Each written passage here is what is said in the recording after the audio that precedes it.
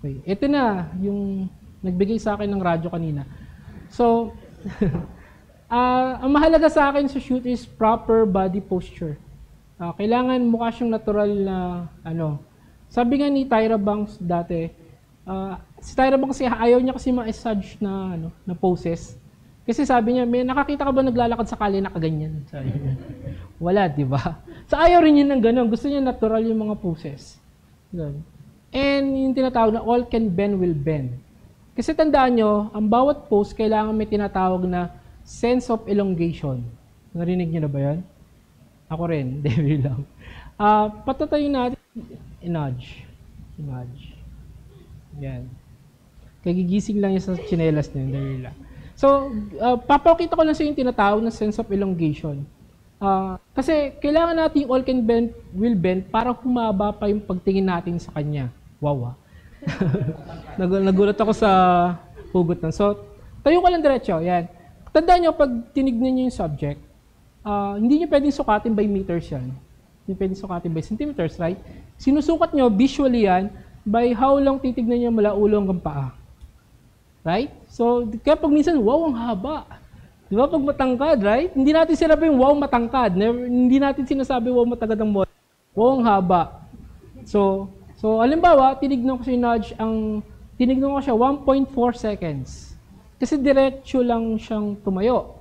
What if yung pumose ka, halimbawa yung, yung pa, ganyan, tapos siguro, malagay mo sa bewa yung kamay mo. The thing is, kap, tandaan nyo, kapag yung subject nyo, nag-create siya ng triangles, ang tawag kasi niyan visual traps, mas tatanggal yung mata nyo sa mga bagay na nag-create ng triangles. So pag tinignan ko siya ngayon, pag tingin ko dito, side ka ng konti, good. So pag tinignan ko siya mula ulo, pag nakita ko dito, may direction dito, may direction dito, so yung paa niya nakaganon na ngayon. Napansin niyo, humaba na, one, mga 1.6 seconds. Ilan ba kanina? so kanina 1.4, ngayon naging 1.6. That's the thing about sense of elongation. Hindi porket nagbe-bend siya, umiigsi siya. Visually, actually, umahaba yung subject nyo kapag pinag-bend nyo yung mga parts ng katawan niya. Okay? Tayo ko pa lang. So, turo ko sa inyo, ah, kasi paano kayo magiging confident? Nasaan yung tube? paano kayo magiging ano, confident na magpa-pose kung hindi nyo alam yung mga basic ng poses, di ba? Sa totoo lang, uh, minsan pag wala ka ng choice, ang photographer na talaga nagbapa, nagpapa-pose, di ba? Marami na akong nawalang kaibigan dahil doon. Kasi pinipicture nila ako pag ako nagpo-pose eh. So, uh, ang pag-aaral natin ngayon mula paa hanggang ulo. So, tandaan niyo yung mga points. Una sa paa, pag nakatayo yung subject, make sure na yung weight niya nasa isang paa lang. Bakit? Side ka nga, ma'am. Inarch. Yan, so dalawang paa yan, right? So, pag isang paa lang, napansin nyo, ano, lumalim yung likod niya, tapos lumaki yung pit niya, yata. Tapos, hindi ko alam eh. Hindi, pero, tapos napansin nyo, tumaas rin yung balikat niya. A- anong tawag doon? Good body posture. So, yung pa lang, napansin nyo, nag-iba na. Di ba? Yata. Tapos, tapos, kapag yung isang paa niya, naka, uh, yung isa kasi hindi nagsusupport ng weight, kailangan yung paang yun naka-point. Yan, pansin nyo yan. It's either nakaganyan, nakaganyan, right? Kailangan naka-point. So, halimbawa, pag umupo si ma'am doon, upo ko nga din ma'am. Yan, nagdequatro siya, gilid lang konti. Yan. Kailangan yung pa, ano yung hindi nagsusupport ng weight? Yung, eto, di ba? Kailangan niya naka-point, ma'am. Yan. Wag nyo, na-imagine nyo ba, sorry, yung mga sexy shoot na nakadapa yung subject, tapos na-imagine na ba yung paa niya naka-flat? Di ba ang pangit? Di ba usually naka-point yung ganun? O kaya yung classic na shot na yung model na hulog sa couch, yung paa niya tumaas. Di ba pansin yung paa niya naka-ano?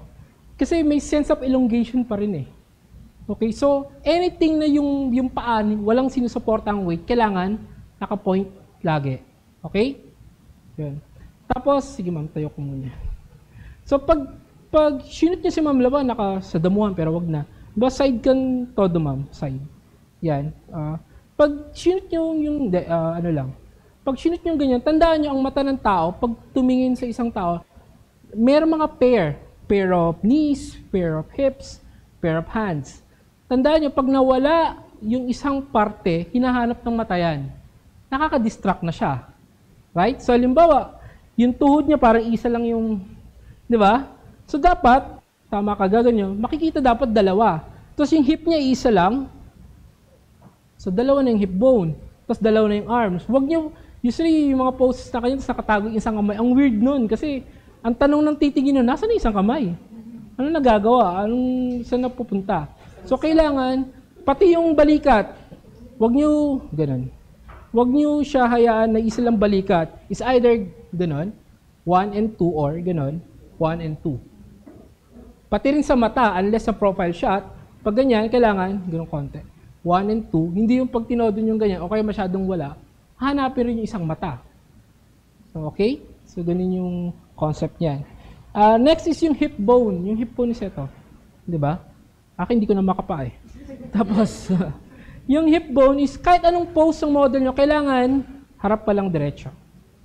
Hindi, uh, baba mo na yan. yan. Uh, kailangan yung hip bone, kahit ganyan, yung isang hip bone mas malapit lagi sa camera. So, ano ba? Yan. Kahit konti lang. Kahit di naman masyado. So, lagi, malapit lagi yung isang hip bone sa camera. He never na pantay yan. So, laging, kahit ganyan pa yung pose niya, pwede niyang ganon. Okay?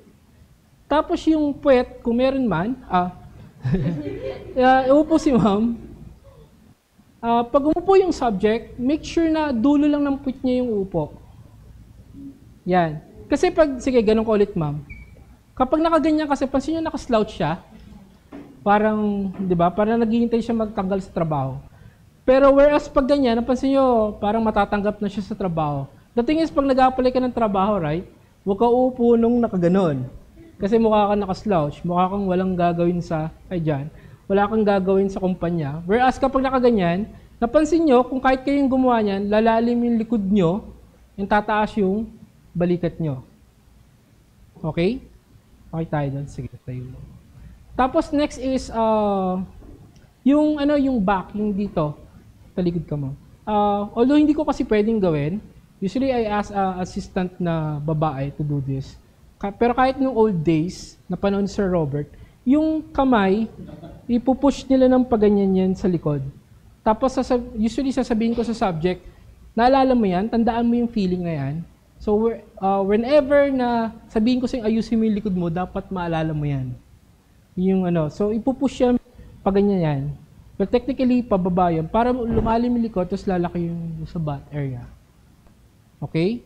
Ang tanong sa chan, it's really, honestly, hindi ako yung, ano, hindi ako nagpapa-stomach in masyado. Unless siguro nakahanging siya or ganun. Pero hindi ako yung tipo ng photographer na breathe in, tapos huwag kang muna hihinga hindi ako ganung photographer. Kasi imagine na, pinagpo-post mo siya, hinga mo siya ng emosyon, tapos sabi mo kay hinga. Baka mamay white balance mo, puro blue na nun. diba? Natataka ka, so mali na yata yung white balance ko. Yung pala yung model. So, kasi hindi sila magiging, di ba? Hindi sila magiging natural. So, kailangan, kailangan ko lang siyang huminga. That being said, hinahanda ako na yung liquify ko pag ganun. Uh, usually, mag-ingat kayo pag nag-shoot kayo pag yung subject niya tumapat sa mga linya. Kasi baka mamaya, ano ba eto, tumapat to sa puno. Pag hinila niyo yung puno, kita niyo buntis yung punong ganun. Diba sa liquify. So, mag-ingat tumatapat yung katawan niya sa letters. Kasi pag tumapat yun, may hila yung letters, hindi niyo na magagawa ng paraan. Right? Ang next is yung kamay sa mga pinakamahalaga. Tandaan niyo ang rule lang sa kamay, wag niyo uh, yung sa model, kailangan hindi niyo makita yung backhand. Kasi gumanyan ka ma'am, Uh, hindi, yan. Pansin nyo, kahit maganda o pangit yung kamay, mas attention yung kamay kaysa sa mukha. Pansin nyo, kahit pa naglalabadan or what, or, or malakang dila yung kamay, malaking distraction lagi yung kamay. Two, napansin nyo ba sa mga photos nyo, laging maliwanag yung kamay kaysa sa mukha? Pansin nyo? Bakit? Kasi walang makeup yung kamay. Mas sumisipsip siya ng liwanag kaysa sa mukha. So, tapos ipapakita nyo pa yung backhand, good luck sa'yo. Ang liwa-liwanag yun, mapapansin nyo yun, di ba? So, ang gagawin nyo, pinapakita nyo lagi yung sides. Okay? Kaya pansin nyo, gumaganyan sila. Hindi, sila gumaganyan. Di ba? Sa mga high fashion shoots. So, at ang forma ng kamay, ang tawag nila yung dead fish hand is ganyan. Yan. Pero, yan. parang hahawak tayo ng ballpen. Sir Jan, pero mas hindi ng ballpen. Pasensya. Dahil nakita. So parang ganyan. Yan. Dati sinasabi ko parang may hawak na mouse. Kasi yung isang model ko dati gumanyan. Kaya I changed my mind. So, ganyan na lang. Ganyan ang ano, paghawak ng ballpen. Parang ganyan. So, lagi parang nakaganyan. Tapos, so, gawin natin lang bawa, since dapat ito pinapakita sides, lagay mo yung kamay mo sa, ano, kailangan pa ganyan. Pag, pag, pag, tandaan nyo, pag pinuposisyon nyo yung dalawang kamay, hindi pantay lagi. Huwag ganyan. It's either mas mataas yung isa, para may imbalance siya na ano. Sa limba, pag uh, nasa gilid siya ng pader, huwag niyo iyang puwesto siyang ganun, para siyang preso. Kailangan mas mataas yung isa lagi. Nakikita niyo, no? Ang pangit kapag para siyang ganun. Parang tutulak siyang pader. Or pag ganyan, mas subtle yung dating. Okay? So, ganun yun sa kamay. So, pansin nyo, laging sa sides.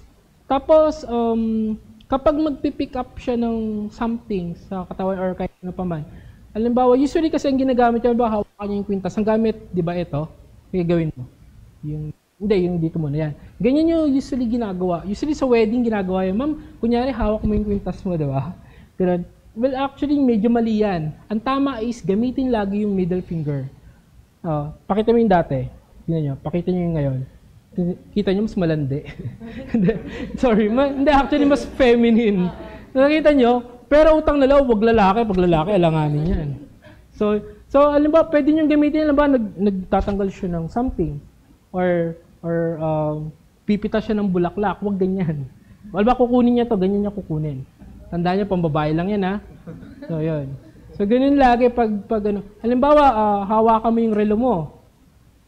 Kasi nyo, mas, mas feminine lagi.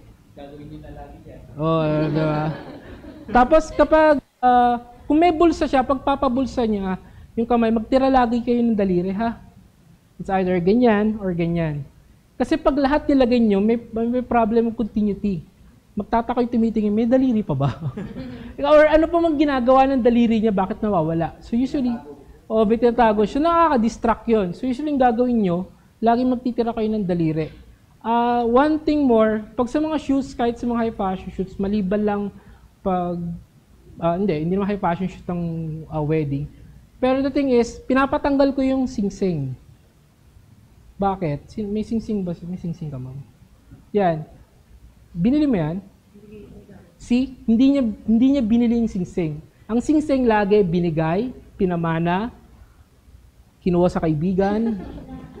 The thing is, uh, in Arbor, my point is, lahat ng sing-sing may sarili-sariling istorya. So kapag pinakita mo yun sa shoot, yun na yung istorya, hindi na yung photo. Distraction na siya. Nakuha nyo? O, oh, tapos magre-reflect pa. Tapos kita mo, may shining, shimmering, splendid pang ganyan. Kaya pag, usually pag one week before, missing sing ka, opo, sinusuot mo lagi, opo, pwede mong tanggalin for a week. Kasi kita mo may ganyan, no? Diba, may guhit. So usually, pinapatanggal ko talaga ang sing-sing jewelry. Maliban lang kung nagmo-model siya ng jewelry, and so on and so forth, pwede. Pero kung hindi naman kasama sa pagiging singsing, patanggal nyo na kasi nakaka-distract yun. Okay tayo doon?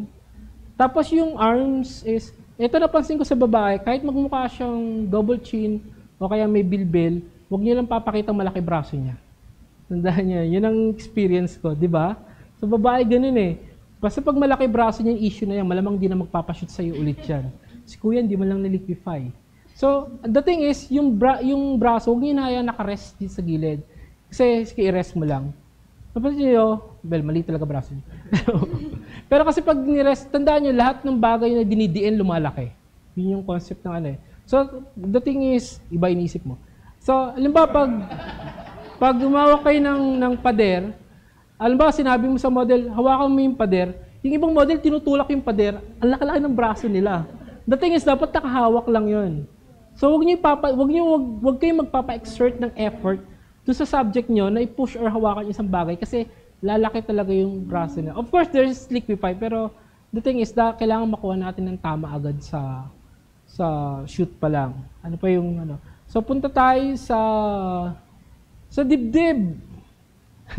Sabi ko Ako talaga hindi ako masyadong concerned sa ano, uh, pero sa akin kasi, pag hindi sexy shoot yun, hindi ako fan ng cleavage. Parang, anong purpose ng cleavage kung may concept ka? ba? Parang sa akin, parang napapangiwi. Personally, ah, it's napapangiwi ako na may concept ka pero puro cleavage yung point of ano.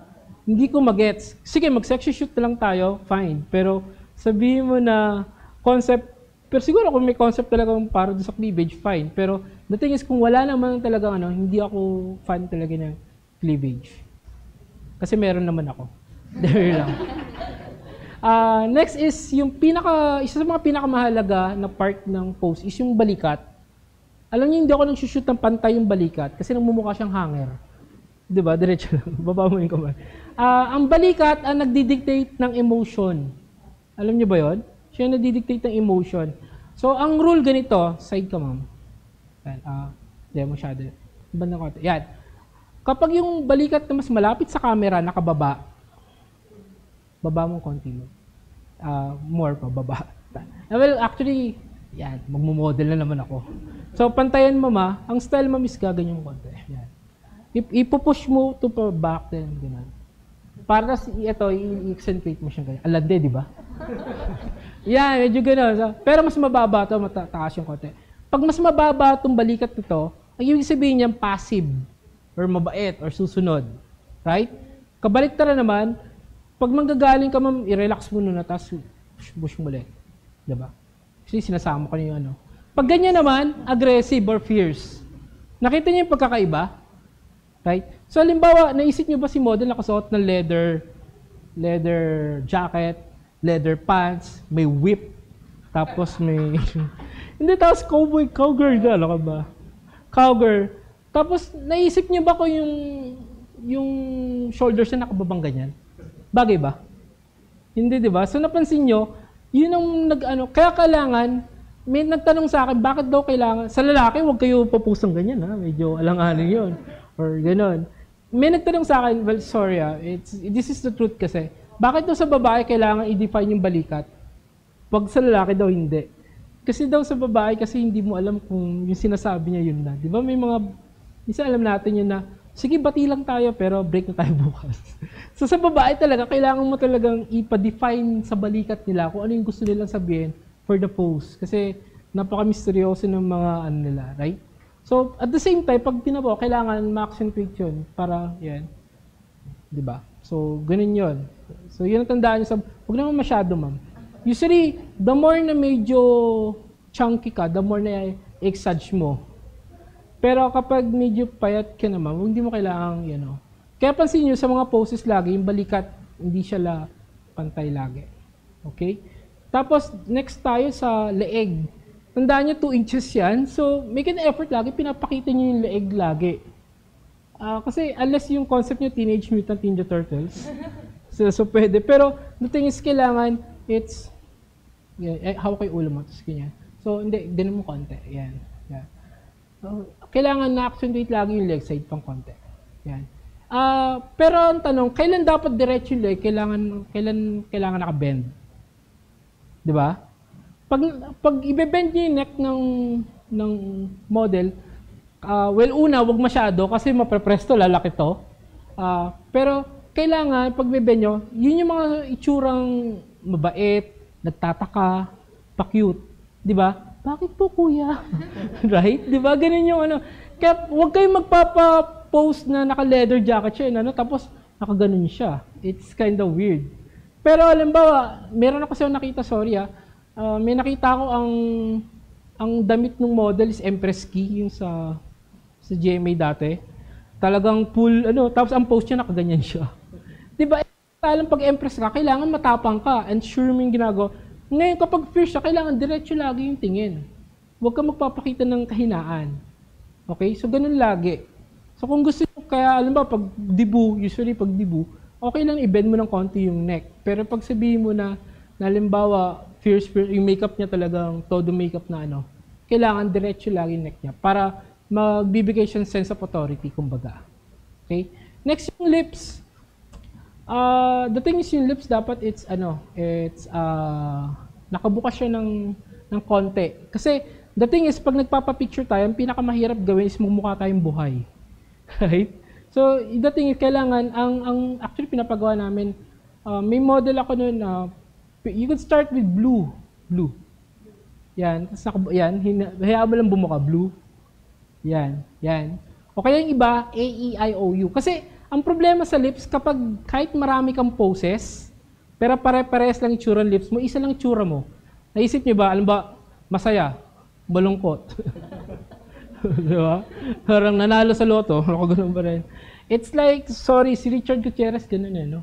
Sa kasi Keanu Reeves, isa lang ang tsura ng lips nila. Pansin niyo ba? Pag napanood kayo ng Matrix sa ng John Wick, galit na sila, ganun pa rin tsura, masaya, ganun pa rin yung lips. Kaya nakakakita kayo ng model, baka si ganun model, ganito lang, isa lang tsura. Kasi yung lips sila pare-parehas. Uh, what we do is, usually ginagamit namin vowels, A, E, I, O, U. Uh, makwento ko, may model ako noon na tinuruan ko ng vowels. She went a little further. Ginawa niya alphabet. Uh, halimbawa, sabi ko sa kanya, nag-iisip. During the shoot, sabi niya, hmm, sabi niya. Nagtataka, oh? As in, yung bibig niya, iba-iba talaga per pose hindi siya nakontento sa ano. So, ganun. Huwag nyo hayaan yung lips pare, pare-pares ang itsura. Saka, to be honest, uh, mahirap yung may ano, may sampay. Ay, sorry, may, may brace sa shoot. Di ba? So, kasi makintab siya, so mahirap. Usually, pag ganyan, sinaside na namin todo ng ganyan. Tapos nakaganyan. Hindi, biro lang. naka, ano, so, medyo mahirap kasi talaga pag, pag may braces talaga sa shoot. So, meron ako shoot na debutant na pinatanggal ko talaga during the shoot. Ay, pinatanggal ko pa sa dentista pala. So, yun. Tapos, uh, sa, sa ilong, tandaan nyo, kahit gaano katangos yung ilong, hindi makikitang matangos siya pag hindi nakita yung bridge. Tama? Kaya pansin nyo, walang, walang taong pinakamaganda siya nakaganyan. Usually, may angulo. Kailangan i-angulo nyo lagi yung subject nyo to the point para makita yung bridge. Okay? Yan. Tapos, sa uh, mata, um, hindi ako fan, pag outdoor shoots, ambient, hindi ako fan ng false eyelashes na makakapal. Kasi pinapayungan niya yung mata, ang dilim-dilim nung mata. Hindi ako... Yeah. Oo, kita mo may shadow dito, kita mo yung eye bag siya. Diba? About eye bags pala, usually, ano eh, hindi ako nagtatanggal ng eye bags during sa pagpo-photoshop. Kasi pinagpuyatan nila yun eh, hindi bigla. But the thing is, sinasabi ko sa model, maaga kayong matulog. Kasi talagang masakit sa ulo yung eye, eye bags eh. So sa mata, ang mag-ingat kayo kapag ano, uh, pag yung iba kasi tingin ka sa malayo, ang sasabihin niya ganyan na. yung di, mag-ingat kayo na didikit yung itim niya dito ah. Baka kasi sinasapian na yun, di ba? Kasi meron kasi pag tumingin siyang gano'n, alanganin na. Tandaan mo ah, pag pinapatingin ka somewhere, kailangan yung ilong mo is always, ay, yung mata mo is always under your nose. Sa so, pag titingin ka doon, yon Huwag yung tingin ka sa kaliwa. Kailangan sasama mo talaga yung ilong mo. Diba? Sa modeling, hindi pwede yung Na, gano'n. Kailangan sasama niyo lang tag, lagi yung mukha nyo. One more thing, kapag pinapatingin niyo yung subject sa malayo, bigyan niyo siya something titignan.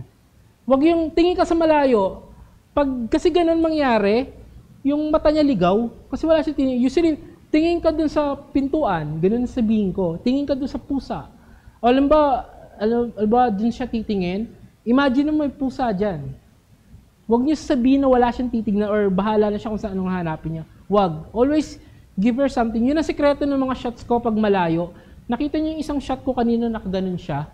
Ang sabi ko noon, uh, talikod ka tapos humarap ka, isipin mo may malaking monster dyan na habulin ka.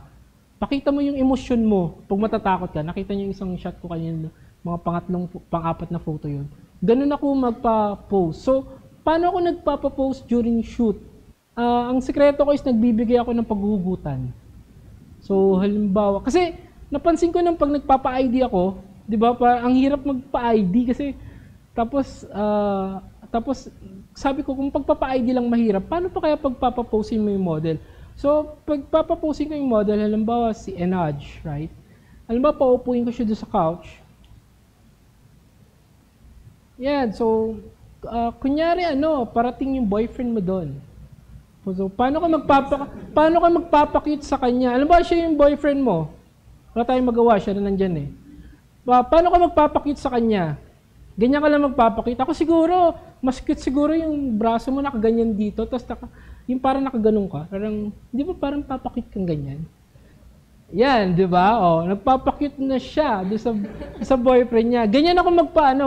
Kunyari magpapakute ka. Tapos pakita mo, uh, so halimbawa, sige gawin mo yung pagpapakute. So, Pero baguhin natin yung emosyon. Ah, kahapon mo pa siya hinihintay pero ngayon pa lang siya darating. Wala pa siyang pasalubong. 'Di ba? Tapos babaguhin ko na lang yung yung ano, ah, yung balikat siguro. Ay, ito pala yung, sige, tama. Ulitin. So, konting ganun ng konti. Ganun, una kong inaayos, balikat. Balikat. Tapos, okay na yung ulo. Tapos yung eyes, here lang. Ganun. Balikat, ulo, tapos mata. So, ang ginagawa ko, binibigyan ko sila lagi ng, ng emosyon na pagugutan. So, halimbawa, pero depende yung istorya mo to sa subject mo. For example, yung anak ko, uh, she was 4 years old yung sinut ko. Sinabi ko, isipin mo darating na si mami. Kasi yun yung, doon siya nakaka-relate. Para may sinut ako dati, 6 years old. Uh, mami, isipin mo, yung first time nagkita kayo ni daddy. Nakita nyo? Iba lagi yung gagamitin nyo. Kailangan maging creative rin kayo sa paggamit ng reference. Kasi kung wala kayong bibigyan ng reference, walang mangyayari, di ba? So, halimbawa, ma'am, kaya mong ilagay yung lahat ng paa mo dun. Yan, pag ganun kada, ayan. Yan, tapos, uh, usually, pag, halimbawa, may, may, may, may, may hinihintay ka doon. Good. Yun, see, nagba, ang galing niya, di ba? So, yung konting balikat, pasok ng konti dito. Uh, ganito, ma'am. Yan. Para lumabas yung dito. Uh, yun, nakita ko yung backhand niya, inayos niya, salamat. nakita. Tapos ang ganda nung daliri niya, nakaganon siya. Huwag niyo hayaan nakaganyan or ano pa ba, or, or ganon. Ang style kasi dapat yun, yung isa talaga naka-point. Siyempre, pag, para maging perfectionist, ayusin natin yung relo niya. ba? Diba? Kasi naka, ano. So, yan. O, pagkatapos nun, uh, pag nagpapapost rin ako, small movements lang. Alam ba, from that pose, think ka over your shoulders. Ganun lang, ulo lang agad. Tapos, tingin ka here na lang dito. Pangatlong shot na naman yon. Tapos, yung susunod kong pose, ito kasi yung rule nito. Alam niyo sa SM, di ba may mga Brazilian models? Uh, ang sabi, bago daw sila ma-qualify, hihingan daw sila isang daang poses sa isang minuto. Paano yon? Na-imagine nyo kung paano isang daang poses isang minuto. Alam ba, paano sila mag-pose? Ganito. 1, 2, 3, 4, ang liliit ng kilos nila. Ganun din pag nag-shoot, kailangan maliliit lang yung kilos. Hindi yung first pose, second pose, third pose. Ang hirap nun. Matatagal lang kayo sa shoot nun, right? Kailangan small movements lang lagi. So, alam ba, pag ganyan, so pagkatapos yung gumalaw yung ulo, yung hand na yun, ilapit mo dun sa relo. Oh, meron na ako ibang pose na naman. 'Di ba? Tapos, i-bend mo konting isang paa mo. Yan. Oh. Yan, pwedeng ganyan. Oh. Tapos, and so on and so forth. Maliliit lang na movements lang ang kilos ko talaga. Hindi yung puro napaka... Kaya, kaya bilib na bilib ako pag may nagsabi, Huh, yung shoot namin, naubusan ako ng poses. Parang, talaga? Parang, to think, hindi ka talaga maubusan ng poses kung maliliit lang yung galaw. Right? So, tayo ka pa, ma'am.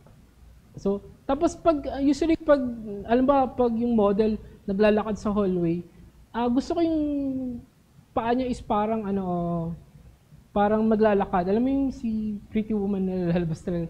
Para siya nagbabounce. Kailangan from a motion. Alam ba, pag, uh, alam ba, nandun yung photo, it's either gagan siya.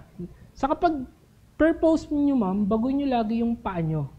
Alam ba, side kayo dito, here. So, uh, pose lang, pose kahit ano. Yan. Next pose. Yan. Kita niyo, kailangan ganun. Hindi yung uh, first pose, second pose, third pose. Usually, kung nakita niyo yun sa Facebook na yung lalaki, kita niyo sabi niya, first pose. di ba? Gumaganyan siya. Ang kulit niya eh, di ba? Tapos nagbabago. Ganun yung mag-pose. Hindi yung puro kamay, ano lang. Usually yung paa talaga nagbabago per pose natin. Okay? So, yun lang. Uh, mahalaga la at mahalaga pa sa mga shoots, kailangan bago shoot, alam niyo na yung gusto nyong makikita niyo sa subject. Hindi yung nanguhula kayo. Kasi may kilala ako, sinushoot niya yung model 8 hours. Kasi ang ginagawa niya, nanguhula siya. I mean, chumachamba siya ng post na maganda. But the thing is, ako, honestly, these days, yung dalawang oras sa shoot ko, napakatagal na nun. Kasi bago pa man yung shoot, alam ko na yung gusto ko. Bonus. Minsan nga nagre-reklamo yung model, Sir, galit po ba kayo? Naalala ko si Emilia Ito, hi Emmy. Uh, nung shoot namin siya, it took us around 45 minutes. Yun yung nasa kahon siya and all. 45 minutes lang yung shoot na yon. Ah, nung natapos yung shoot, ang, ang, ang sabi ni Amy, sure ka tapos na tayo? Kasi totoo nun, before the shoot, alam ko na yung gusto ko. Ganun din kayo dapat mag-shoot. Kailangan may target na talaga kayo na mga poses. Additional na lang yung, yung iba. Okay? Ah, ano pa ba? Ah, tapos, tayo ka pa lang yan. Nasaan yung ano? Tinanggal na sa akin yung, nasa yung remote? Nasa bulsa ko. Ah, I get that all the time. Sa clothing, ah, yung clothing hindi masyadong dapat sumisigaw na makaka... Kailangan yung subject pa rin lagi yung ano ah. And ako pag yung model, hindi ko, first time ko na-meet, ah, pag tinanong anong preferred nyo, usually pinasosot ko ng boots. Fan ako ng boots. Kasi kahit anong pwede sa boots eh. 'Di ba? May shoot ako dati, ano, yung model, sabi ko dala ka ng boots. Dala lang talaga niya boots. Ang ginawa ko, seriously, ginawa ko, pinasuot ko siya ng sand doon na puti. Tapos actually, naka-nude, wala siyang undies doon. Pero pinalakad ko siya sa, sa, sa isang trail. Lumabas sa Vogue yun eh. So, Vogue Italy. As in, pero kung tutusas, black and white lang yon Kasi ang ganda ng dating niya. Parang naka-sandals, naka-boots lang siya. Ang sa tingin ko, ang weird lang yung ano, no, yung, ang tawag dito? Yung leggings, parang weird pag naka-boots, no? Pero otherwise, palda, pwede sa boots, and ano, right? Ah, hindi rin ako fan ng wedge. Yun. Alam niyo yung wedge, no? Yung ganyan, ang lalaki. Kasi wedge ko, feeling ko ang bigat-bigat, parang feeling mo may hollow block silang dala. Kaya pag titignan mo yung subject, parang imbis na tumangkad siya, tingin mo pa ganyan. Oh, sa kaya hindi ako kapag bumaba siya hindi siya makaano, 'di ba? Kaya hindi ako hindi ako nagpapasuot ng wedge ever sa mga shoots ko. Ah, additional, kapag yung subject nyo pala naka-skirt, huwag niyo masyadong pinapalaki yung bukaka. Ah, pwede kayong alam mo naka naka-pants siya o kaya naka-paldang mahaba. Pero pag naka-skirt, tandaan niyo limited yung paa niyan. Alam niyo bakit? Kasi pag naka malaki yung space, parang may mahuhulog. Sorry ha. Na, so nakaka-distract pa rin. So yun ang tatandaan. Huwag kayo nagpapapost na ganyan ng suot, tapos ang laki-laki ng nakaganyan. Naku, magkakaproblema tayo doon. So yun yung mga ano. Ano pa ba yung mga additional? Diyan ka pa lang. So, ah, ano pa ba? Sa damit, ayun, ayoko ng singsing. Hindi ako masyadong fan ng mga shining, shimmering, splendid talaga ng mga props.